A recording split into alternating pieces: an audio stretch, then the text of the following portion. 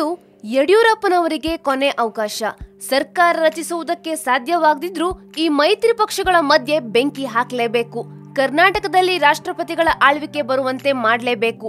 ಹಾಗೆ ಮಾಡದೇ ಇದ್ರೆ ಬಿ ಎಸ್ ಯಡಿಯೂರಪ್ಪ ಅವರ ರಾಜಕೀಯ ಜೀವನ ತೀರಾ ಹೀನಾಯವಾಗಿ ಕೊನೆಯಾಗ್ತದೆ. ಹೀಗೆ ಮಾತನಾಡ್ತಾ ಕ್ಷಣಕಾಲ ಮೌನವಾದರೂ ಬಹುಕಾಲದಿಂದ ಬಿಜೆಪಿ ಜೊತೆಗಿನ ಒಡನಾಟ ಹೊಂದಿರುವ ಆ ವ್ಯಕ್ತಿ ಯಡಿಯೂರಪ್ಪ ಅವರನ್ನ ಪಕ್ಕಕ್ಕೆ ಸರಿಸುವುದು ಬಹುತೇಕ ಖಚಿತವಾಗಿದೆ. ಅದು ಸ್ವತಃ ಯಡಿಯೂರಪ್ಪ ಅವರಿಗೂ ಗೊತ್ತಿದೆ. ಈ ಬಾರಿಯ ಲೋಕಸಭಾ ಚುನಾವಣೆಯೇ ಡೆಡ್ ಲೈನ್ ಆ ನಂತರ ಮುಲಾಜಿಲ್ಲದೆ ಯಡಿಯೂರಪ್ಪ ಅವರನ್ನ ಬಿಜೆಪಿಯಲ್ಲಿ ಸೈಡಿಗೆ ಎಳೆದು ಹಾಕಲಾಗುತ್ತದೆ.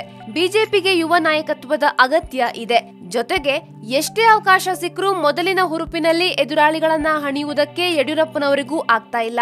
ಇನ್ನು ಪಕ್ಷದೊಳಗೆ ಅವರ ವಿರುದ್ಧ ಕತ್ತಿ ಮಸೆಯುತ್ತಿರುವವರು ಹಲವರಿದ್ದಾರೆ. ಮೇಲಿಂದ ಮೇಲೆ ತಮ್ಮ ಸೋಲಿಗೆ ಕಾರಣ ಏನು ಎಂಬುದು ಯಡಿಯೂರಪ್ಪಗೂ ಗೊತ್ತಿರೋದ್ರಿಂದ ತಮ್ಮ ಆಪ್ತರು ಮಕ್ಕಳಿಗೆ ಪಕ್ಷದೊಳಗೊಂದು ಗಟ್ಟಿ ಸ್ಥಾನ ದೊರಕಿಸುವ ಹವಣಿಕೆಯಲ್ಲಿ ಅವರಿದ್ದಾರೆ. ಈ ಬಾರಿಯ ಆಪರೇಷನ್ ಕಮಲವನ್ನ ಬಡಪೆಟ್ಟಿಗೆ ಕೈ ಬಿಡುವುದಿಲ್ಲ.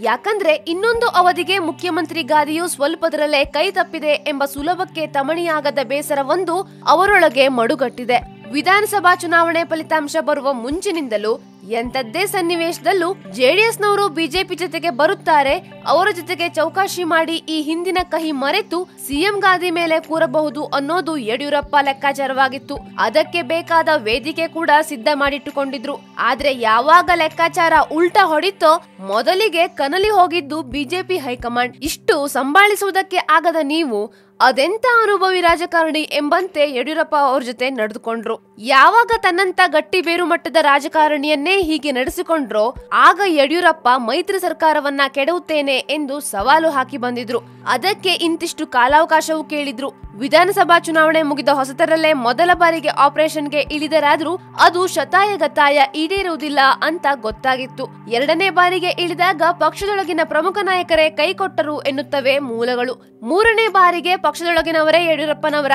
ಆಸೆಗೆ ಮಣ್ಣೆ ರಚಿದ್ದಾರೆ. ಇನ್ನು ಪಕ್ಷದೊಳಗೆ ಯಡಿಯೂರಪ್ಪ ಅವರನ್ನ ಮುಂದುವರಿಸಿಕೊಂಡು ಹೋಗುವುದರಲ್ಲಿ ಅರ್ಥವಿಲ್ಲ ಎಂಬ ಚರ್ಚೆ ಹೈಕಮಾಂಡ್ನಲ್ಲೇ ಶುರುವಾಗಿದೆ. ಈಗಿನ ಪರಿಸ್ಥಿತಿಯಲ್ಲಿ ರಾಜ್ಯದಲ್ಲಿ ಜೆಡಿಎಸ್ ಕಾಂಗ್ರೆಸ್ ಒಟ್ಟಾಗಿಯೇ ಲೋಕಸಭಾ ಚುನಾವಣೆಗೆ ಹೋಗುವುದು ಪಕ್ಕಾ ಆಗಿದೆ. ಅಲ್ಲಿಗೆ ಬಿಜೆಪಿಗೆ ರಾಜ್ಯದಲ್ಲಿ ಹನ್ನೆರಡಕ್ಕಿಂತ ಹೆಚ್ಚು ಸ್ಥಾನಗಳು ಸಿಗುವುದು ಅನುಮಾನ ಎಂದು ಪಕ್ಷದ ಆಂತರಿಕ ವರದಿಯೇ ಹೇಳ್ತಾ ಇದೆ.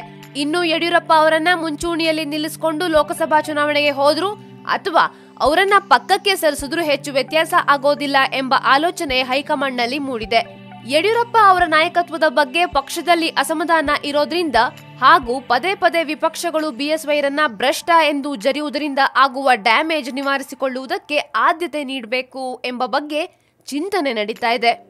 ಪಳಗಿದ ರಾಜಕಾರಣಿ ಯಡಿಯೂರಪ್ಪ ಅವರಿಗೆ ಇವೆಲ್ಲ ಗೊತ್ತಿರಲಿಲ್ಲ ಅಂತಲ್ಲ.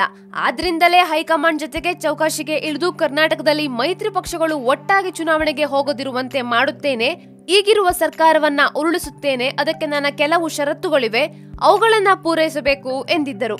ಈ ಮಾತುಕತೆಯೆಲ್ಲ ಆಗಿ ನಾಲ್ಕೈದು ತಿಂಗಳಿಗಿಂತ ಹೆಚ್ಚು ಸಮಯವೇ ಆಗಿದೆ. ಈಗಿನ ಸರ್ಕಾರವನ್ನ ಕೆಡವುತ್ತೇನೆ, ನನ್ನನ್ನೇ ಮುಖ್ಯಮಂತ್ರಿಯಾಗಿ ಮಾಡಬೇಕು, ಲೋಕಸಭಾ ಚುನಾವಣೆಗೆ ಟಿಕೆಟ್ ಹಂಚಿಕೆ ಜವಾಬ್ದಾರಿ ನನಗೆ ನೀಡಬೇಕು ಹೀಗೆ ಕೆಲವು ಷರತ್ತನ್ನ ಆಗ ಮುಂದಿಟ್ಟಿದ್ರು. ಜೊತೆಗೆ ಪಕ್ಷದೊಳಗೆ ತನಗೆ ಅಡ್ಡಗಾಲಿನಂತೆ ಇರುವ ಕೆಲವು ನಾಯಕರನ್ನ ದಾರಿಯಿಂದ ಪಕ್ಕಕ್ಕೆ ಸರಿಸಬೇಕು ಎಂದು ಕೇಳಿದ್ರು. ಲಿಂಗಾಯತ ಸಮುದಾಯದ ಪ್ರಬಲ ನಾಯಕರಾದ ಯಡಿಯೂರಪ್ಪನವರ ಮೇಲೆ ನಂಬಿಕೆ ಇಟ್ಟ ಹೈಕಮಾಂಡ್ ಕೂಡ ಎಲ್ಲವನ್ನ ಒಪ್ಪಿಕೊಂಡು ಬೆಂಬಲ ಕೂಡ ಸೂಚಿಸಿತ್ತು. ಆದ್ರೆ ಯಡಿಯೂರಪ್ಪ ಅವರಿಗೆ ಈ ಸಲ ಪಕ್ಷದೊಳಗೆ ಕೈಕೊಟ್ಟಿದ್ದಾರೆ ಅಲ್ಲಿಗೆ ಅವರ ರಾಜಕೀಯ ಬದುಕಿನ ಕೊನೆ ಅಧ್ಯಾಯ ಇದು ಎಂಬುದು ನಿಶ್ಚಿತವಾಗಿದೆ. ಈಗಿನ ಸಂದರ್ಭದಲ್ಲಿ ಯಡಿಯೂರಪ್ಪ ಅವರ ಎರಡನೇ ಮಗ ವಿಜಯೇಂದ್ರಗೆ ಪಕ್ಷದಲ್ಲಿ ಸಂಘಟನೆಗೆ ಸಂಬಂಧಿಸಿದಂತೆ ಕೆಲವು ಜವಾಬ್ದಾರಿ ನೀಡುವ ಹಾಗೂ ರಾಘವೇಂದ್ರ ಅವರನ್ನ ಈಗಿನಂತೆ ಸಂಸತ್ ಚುನಾವಣೆಗಳಿಗೆ ಸೀಮಿತಗೊಳಿಸುವ ಬಗ್ಗೆ ಚರ್ಚೆ ನಡೀತಾ ಇದೆ. ಲೋಕಸಭಾ ಚುನಾವಣೆಗೆ ಮುನ್ನವೇ ಯಡಿಯೂರಪ್ಪ ಅವರ ನಾಯಕತ್ವ ಬದಲಾವಣೆ ಆಗಬಹುದೋ ಅಥವಾ ಚುನಾವಣೆ ನಂತರ ಮಾಡ್ತಾರೋ ಎಂಬುದು ಸದ್ಯದ ಪ್ರಶ್ನೆ.